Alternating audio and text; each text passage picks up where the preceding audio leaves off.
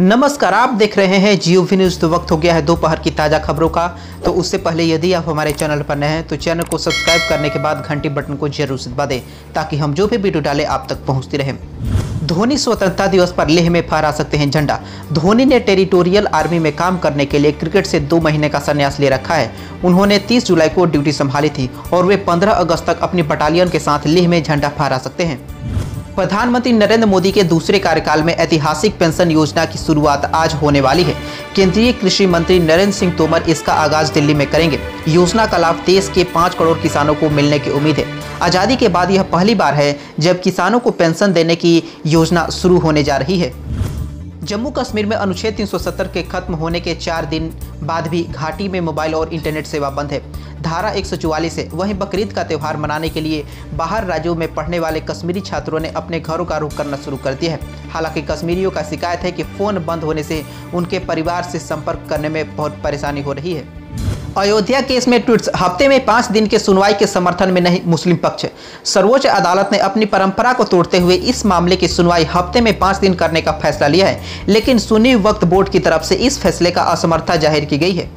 बौखलाया Pakistan LOC पर बना रहा है सुरंग, आतंकियों को लिए heavy machine gun Jammu Kashmir पर मोदी सरकार के ऐतिहासिक फैसले से बौखलाया पाकिस्तान। अब एलओसी पर रोबोटिक हथियार का इस्तेमाल कर आतंकवादियों के घुसपैठ करने की फिराक में है। अमेरिका को पछाड़ देगा भारत। 2034 तक बन जाएगा दुनिया का सबसे बड़ा ई कॉमर्स बाज़ार। भारत 2034 तक अमेरिका को पीछे छोड़ते हुए दुनिया का सबसे बड़ा ई कॉमर्स बाज़ार बन जाएगा। यह कहना है कि विश्व की सबसे बड़ी पैकेज डिलीवरी एवं supply chain management company United Service server के प्रबंधक निदेशक राजित फवादी का है। अब ट्रेन में सफ़र के दौरान कर सकेंगे शॉपिंग क्रीम पाउडर समेत खरीद सकेंगे अन्य उत्पाद।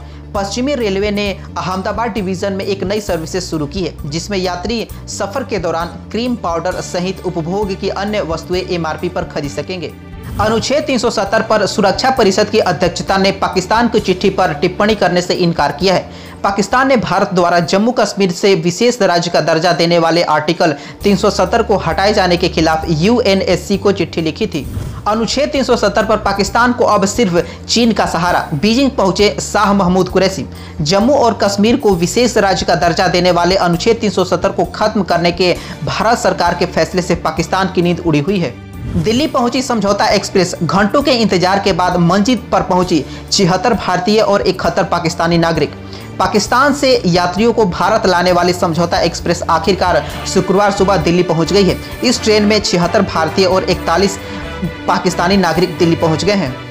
राहुल गांधी ने केरल और वायनाड में बाढ़ को लेकर के पीएम मोदी से की बात, मिला मदद का भरोसा। केरल में बारिश के कारण हादसों पर मरने वालों की संख्या बढ़कर के 22 हो गई है और लगभग बाईस हज़ार से अधिक लोगों को राहत शिविर में लाया गया है। कोचिंग अंतर्राष्ट्रीय हवाई अड्डे में पार्किंग क्षेत्र में पानी भर जाने के कारण पहले तो शुक्रवार को आधी रात तक विमान परिचालन बंद कर दिया गया था और अब परिचालन रविवार दोपहर तीन बजे तक बंद रहेगा। वृक्षारोपण महाकुंभ 22 करोड़ पौधे लगा करके Guinness Book of World Record में नाम दर्ज कराएगी यूपी सरकार। यूपी में 22 करोड़ पौधे लगा करके विश्व रिकॉर्ड बनाया जाएगा। सरकार का ये अभियान Guinness Book of World Record दर्ज कराने को लेकर के है। सीएम योगी आदित्यनाथ समेत सभी मंत्री इस कार्यक्रम में हिस्सा ले रहे हैं।